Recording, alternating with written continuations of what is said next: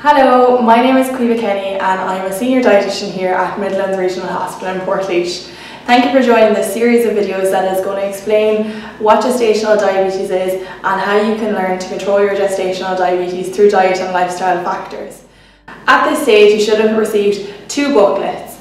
Um, one A5 booklet that has a lot of information on diet and lifestyle factors that can help you to control your gestational diabetes and another A4 booklet that is a summary sheet to put all the information together. So as we move forward with this video, I'm going to be explaining the main uh, nutrients and the key dietary factors that are going to affect your gestational diabetes and how we can learn to help to control your gestational diabetes. To begin, I just want to talk you through what gestational diabetes is. So gestational diabetes is a condition where there's too much glucose or sugars in your bloodstream. So we want to control how much sugar is in your bloodstream so that you and baby are as healthy as possible throughout your pregnancy. And how we do that is controlling the types and the amounts of carbohydrates in the foods that we eat. So there are a few main key nutrients in our diet. We have the carbohydrates that I just mentioned, the proteins, which are like meat, fish, eggs, cheese, peanut butter, things like that. We have your fats, which are oils, butters, and then we have vitamins and minerals, which mainly come from a variety of um, foods, but particularly um, your fruits and vegetables. The carbohydrates are the main nutrient that are going to affect your blood sugar levels. So with carbohydrates, carbohydrates are your main source of energy, which we need to fuel you and baby. If you think of it in the same way as a car needs petrol or diesel to fuel themselves, you need carbohydrates to fuel your body so that it's working to its best.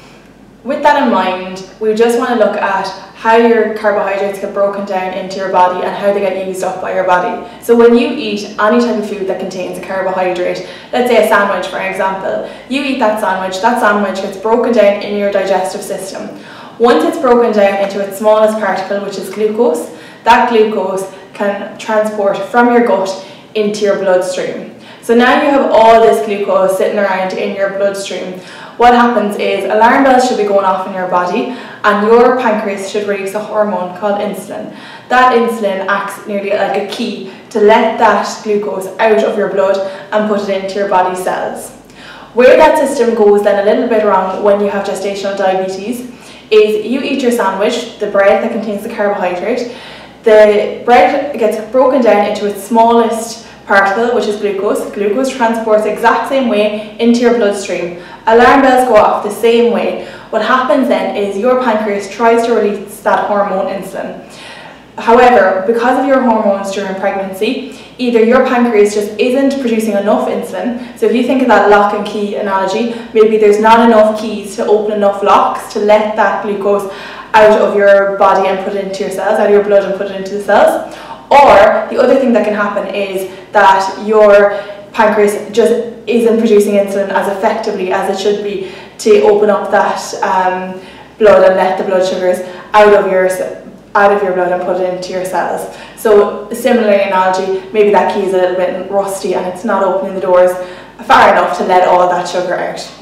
So that's why when you check your blood sugar levels or your blood glucose levels, that's the amount of sugar or glucose that's in your body at that particular point in time. We do need that carbohydrate or that glucose in your cells because that's what allows us to give us energy and allows our bodies to function as it should be. So where does our carbohydrates actually come from? There are a few different sources of carbohydrates from our diet. The three main sources of carbohydrates are your starchy carbohydrates. These are foods like bread, rice, potatoes, pasta, yam, um, plantain. They're all starchy carbohydrates. These have a nice gradual release of sugars into your bloodstream. That's what you want. What you want is to have a nice slow release of sugars in your bloodstream. What slows that down even further if, is if these foods are higher in fibre. So things like brown bread or brown rice or brown pasta have a slow release of, of sugars into your bloodstream, which is what you're looking for. The next type of um, carbohydrates are what we call natural sugars.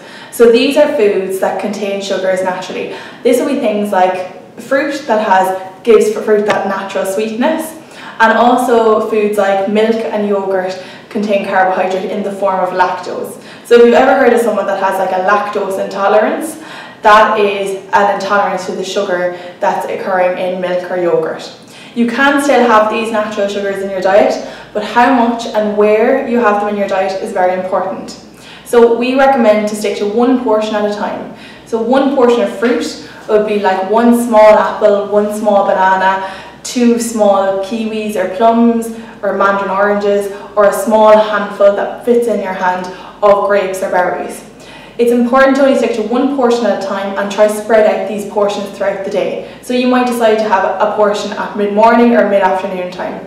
Similarly, with your milk or your yogurt, we would recommend keeping to one portion at a time. So one medium pot of yogurt, like maybe 100 to 125 grams of yogurt, or maybe a 200 ml glass of milk.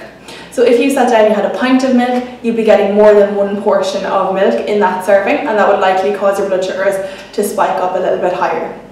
It's important with regards to yogurt that you're choosing the right types of yogurts. Some yogurts can be quite high in sugar, so if you're wondering which one to go for, the best types are either natural yogurt or yogurts that have no added sugar or 0% added sugar on the labels. The last type of carbohydrates are your what we call free sugars or added sugars. These are foods that contain carbohydrates that release very, very quickly and spike up your blood sugars quite quickly. This is what we want to avoid.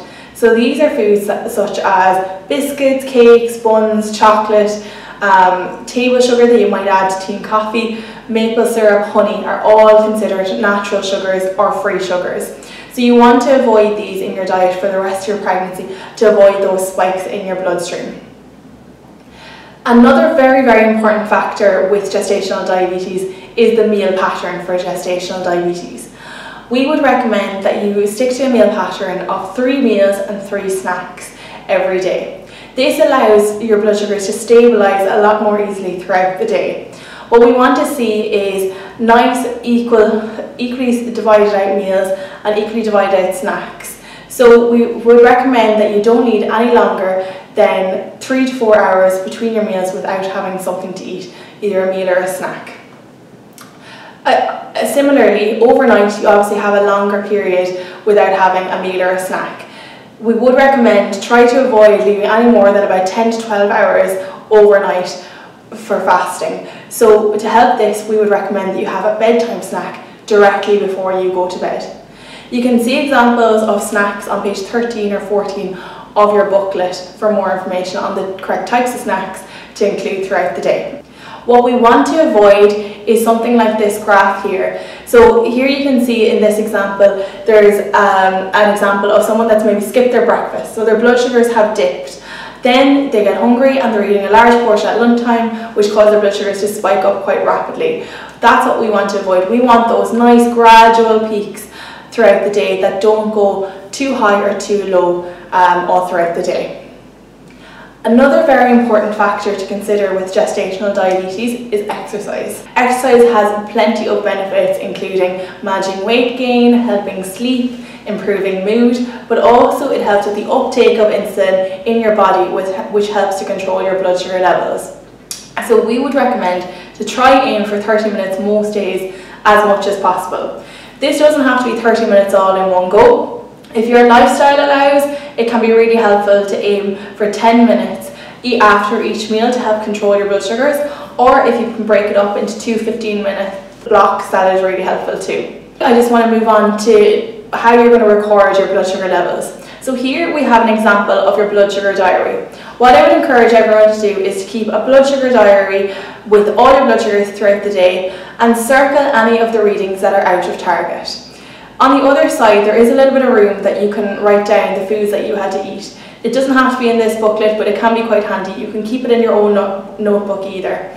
This will help you to figure out what foods are working and what foods aren't working the types of carbohydrate and the portions of carbohydrate to help you figure out how to control your blood sugar levels. So this can be invaluable, particularly in the first few weeks of managing your gestational diabetes.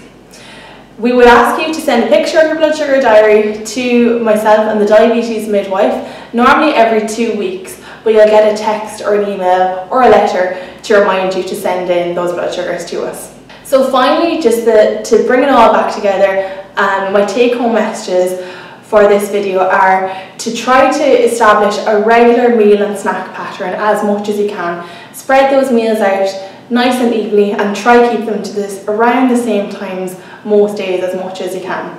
Try to include high fibre starchy carbohydrate like your brown bread as opposed to your white bread, your brown pasta as opposed to your white pasta at each of your main meals, breakfast, lunch and dinner. Bulk out your meals with lots of protein and vegetables which don't affect your blood sugar levels and will help you if you have to reduce your portions of carbohydrate.